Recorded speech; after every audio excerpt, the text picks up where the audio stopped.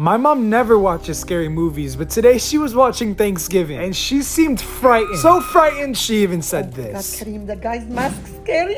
The mask? Yeah, the mask. I can't watch this. I have to go. So I thought it'd be funny if I ordered the mask and then started placing it everywhere in the house that she checks on a daily.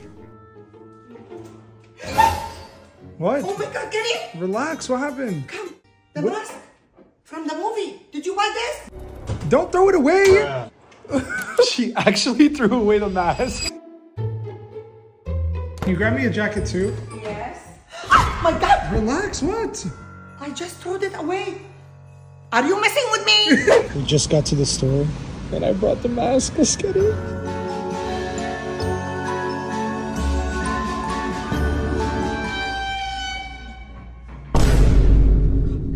What? What? What? What? let's go.